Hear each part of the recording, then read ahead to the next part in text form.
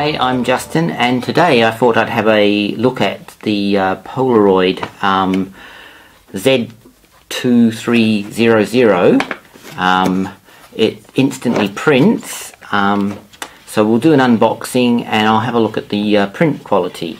It's a 10 megapixel camera and it does HD video and it, it, it uh, prints images in about a minute. So we'll do an unboxing and then we'll have a look at the camera itself. So the box, as you can see, is pretty average. It's got a little seal tag here. Let's put that there for the moment. Um, open it up.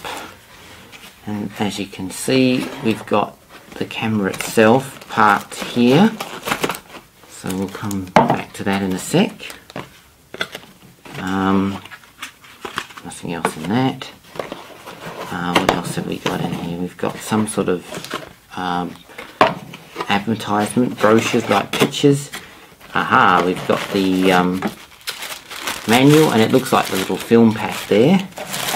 And then we've got inside here, it comes with a uh, the charger, uh, the battery, uh, a USB cable, a little hand tie, and four different um, plug fittings for different parts of the world, which is pretty good if you're in wherever you are, it should work. Anyway, let's have a look at the actual camera itself. So let's put all this at one side. Okay, and take this out the bag. It's got a bit of weight to it, it's not a light, it's a bit brickish shape too. Way. So here's the uh, actual camera. Um, as you can see it's it's fairly thick for its size. I went for the black one, it also comes in white.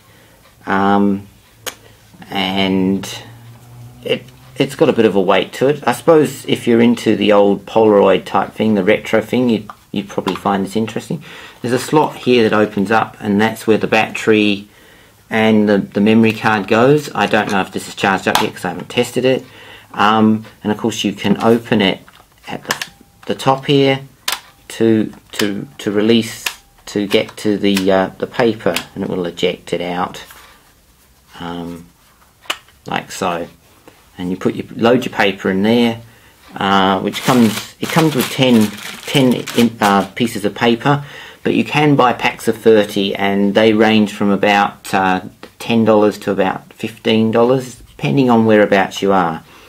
Anyway, um, I'll check if it's charged up and I'll give it a test and we'll come back and I'll show you what it's like when it prints something. Uh, so right, um, now I've done the unboxing and I've uh, inserted the battery which as you saw goes in here, that's the battery there it's got like a tag on it and you can push it in so. And you get your SD card and that loads in in the same spot. Uh, make sure you get that around the right way. And then you close it off. I put the film in and this little blue card comes out. I think it just to align the printers. And I've taken some pictures. So what we'll do now is we'll just turn it on and that's it's come up with the uh, Polaroid logo and then that's the picture I've taken of the cat so we'll um, set it into printer mode and we'll see if we can figure out how you print it. Aha, so you set the number of prints and we, we're going to print this picture of the cat. So we're going to say OK and we're going to say print.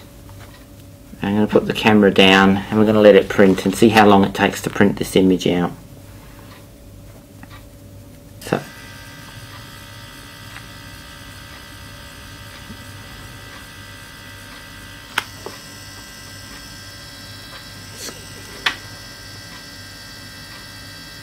Got a few other little connections on the side like USB and so forth um, and your power connection.